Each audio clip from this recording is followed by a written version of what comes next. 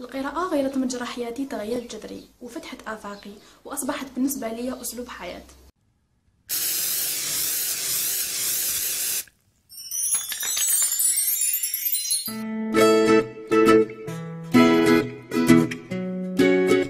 السلام عليكم. آه، اليوم جدكم بفيديو خاص جدا في إطار مشاركتي في أسبوع يوتيوب المرأة العربية لنظم موقع بودكاست إريبيا وراح نحدثكم عن مساهمة القراءة في تمكين وتثقيف المرأة.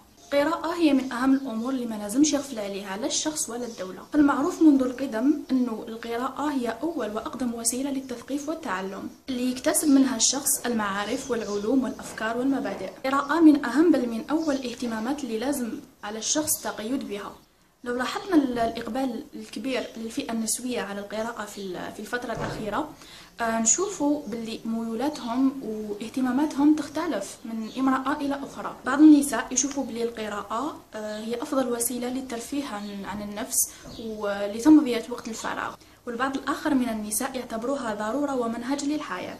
إلى أن القراءة لازم تتجاوز آه، حدود المتعة لأنها آه، تساهم إسهام كبير في آه، تطور المرأة وتثقيفها. النساء القارئات يسقسوني كيفاش تقدر القراءة تقف المرأة وتطورها. القراءة تطور القدرات الإبداعية لدى النساء لأنه القدرات الإبداعية تتناسب مع معدلات القراءة. القراءة تخلي المرأة تفكر بشكل غير مألوف وتبدع وهذا نظرا للقراءة والإطلاع المستمر. فائدة مهمة كذلك نكتسبوها من من القراءة. هي تنمية آه، قدرات التحدث والنقاش. القراءة تكسب المرأة معلومات مختلفة وتنمي قدراتها العقلية. وتعطيها فرصة على الاطلاع على أفكار الآخرين ثقافة الآخرين يعني تخليها تسافر وهي في مكانها. والمرأة كي تطلع على وجهات نظر مختلفة تولي تشوفها من زوايا مختلفة وعقلها يتفتح وتولي تتقبل الرأي الآخر.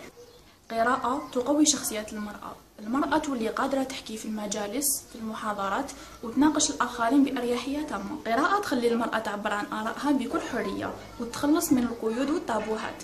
المرأة تولي قادرة تقول إيه وتقول لا لا قادرة تترشح وتصوت كما قادرة تشارك في كل الميادين بالقراءة تصبح المرأة حرة ومستقلة وتخلي كل من حولها يحترموها. المرأة القارئة تقدر تتاخذ قراراتها بدون ضغط من أي أحد.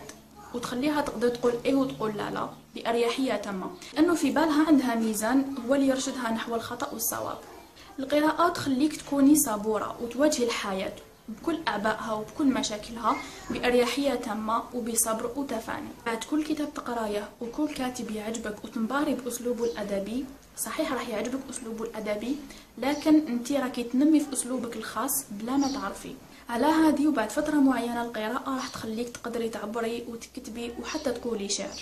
وأهم حاجة نكتسبوها من القراءة هي الثقافة الذاتية. الثقافة الذاتية هي من أهم وسائل اكتساب المعرفة. وهذا الشيء يتم عن طريق القراءة والبحث والجري وراء المعلومة. من القراءة نكتسب أهداف وظيفية وشنو هي الأهداف الوظيفية؟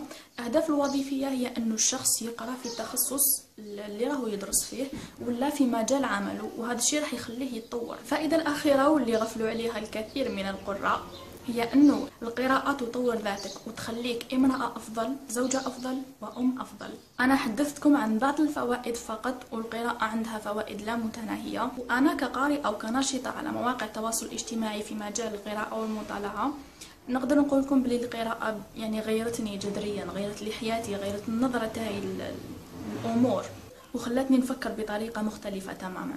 وقد ما نحكي لكم على أهمية القراءة وفوائدها ما راحش تحسوا بهذه القيمة الحقيقية وبهذه اللذة حتى تقراوا بنفسكم. وفي الآخر حبيت نشارككم باقتباس بسيط من كتاب 25 آه، خرافة شعبية عن القراءة للدكتور ساجد العبدلي وعبد المجيد تمراز ليس الهدف من الكتاب تخديرنا أو تسليتنا فقط وليس هو شيء نمر عليه هكذا كما نحن بل هو تجربة لابد أن تضع فيك شيئا جديدا.